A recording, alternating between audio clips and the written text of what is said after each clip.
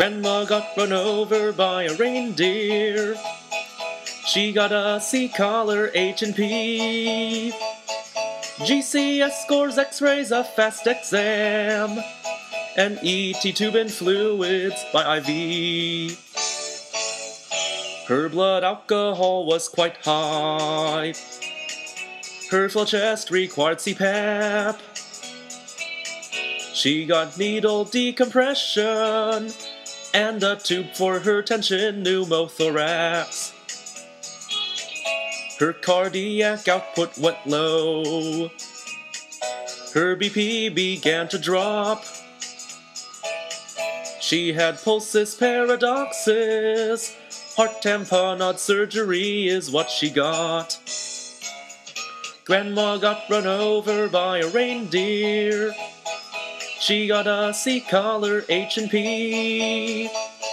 GCS scores X-rays a fast exam. And ET tube and fluids by IV.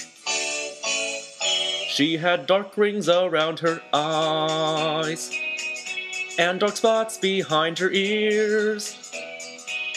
CSF filled her ears and nose. On non-contrast CT, a fracture was clear. Both her pupils looked like pinpoints. Her eye movements weren't intact.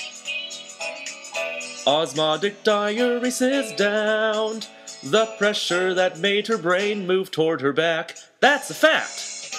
Grandma got run over by a reindeer. She got a C collar H and P. GCS scores X-rays a fast exam. And ET tube and fluids by IV. She had blunt abdomen trauma. A sonogram was obtained. Free fluid in Morison's pouch led to surgery to take that blood away. She received antibiotics and a tetanus shot too. Her MAP was kept at 65 once the doctors obtained some blood to transfuse. Grandma got run over by a reindeer. She got a C collar H and P. GCS scores X-rays a fast exam.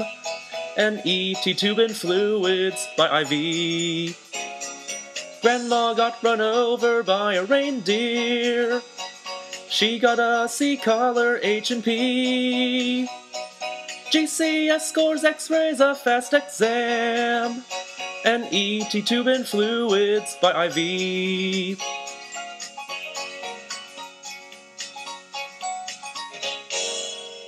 Merry Christmas.